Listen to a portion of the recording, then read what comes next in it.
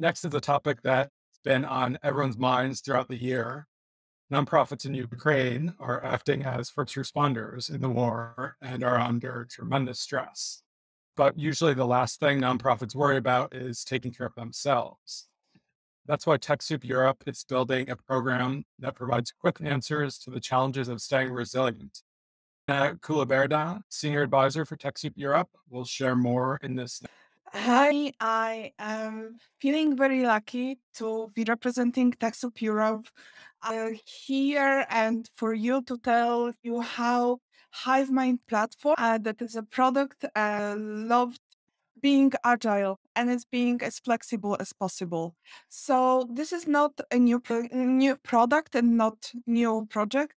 TechSoup Europe decided to build a comprehensive platform for capacity building of organizations. Let's focus on Central and Eastern Europe.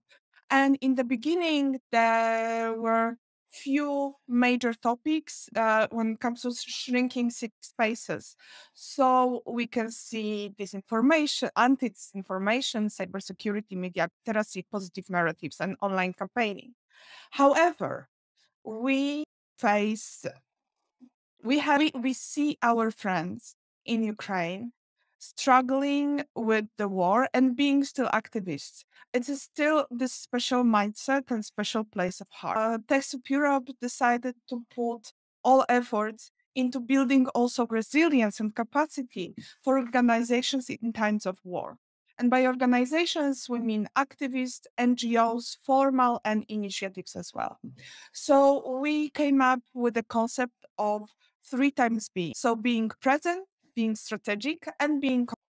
So we can see that in being present, it is the capacity of building trust, capacity of understanding how the brain and body react in in times of prolonged stress, in times of uh, direct trauma, and in times of uh, complex trauma as well. So this is not a normal condition that NGOs are working. Moreover, this is not a natural disaster.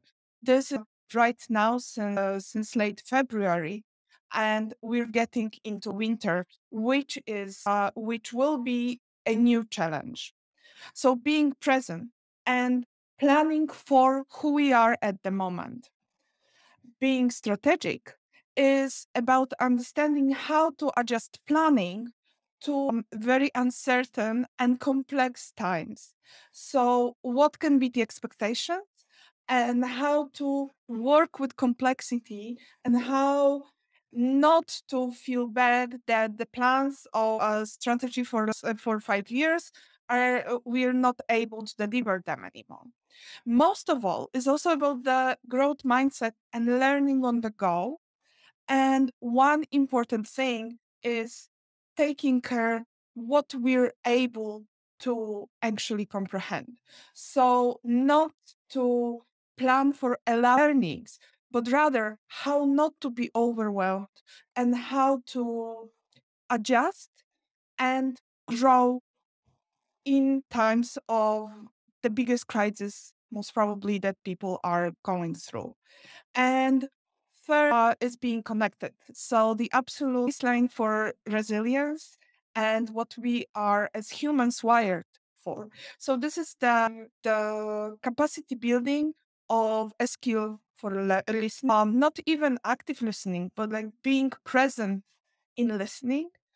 It's about norms, rituals, and habits that the organization can develop. Doesn't really matter whether online or offline, and how emotional literacy is again uh, a, fun, a fundamental skill uh, for for surviving such time and for still being able to deliver and being a sustainable organization to being a sustainable uh, in you can see that uh, we also decided to add something new and it will be published soon on the website is also facts that are designed for the brain in huge stress. So without changing uh, without changing the content, we are uh, we are responding to real language that people uh, that people are using. What is important is that, of course, it is an ecosystem and it will be not only uh, the platform, but also local trainings.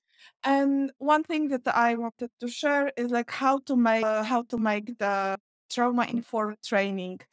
And what I can do is also invite you to our uh, HiveMind platform or follow us on social media.